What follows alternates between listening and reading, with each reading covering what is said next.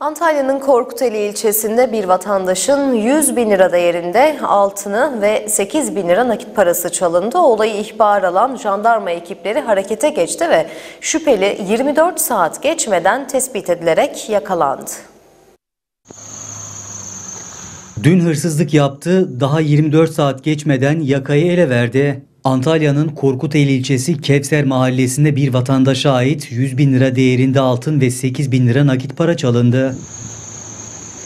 Vatandaşın ihbarıyla harekete geçen Korkuteli ilçe jandarma ekipleri ilçedeki güvenlik kameralarını izlemeye aldı. İstihbarat çalışması yapılarak şüphelinin AM isimli kişi olduğu belirlendi. İlçe Jandarma Komutanlığı asayiş ekipleri tarafından bulunduğu yer belirlenen AM daha olayın üzerinden 24 saat geçmeden yakalanarak gözaltına alındı. Jandarmada ifadesi alınan şüpheli işlemlerin ardından adliyeye sevk edilecek.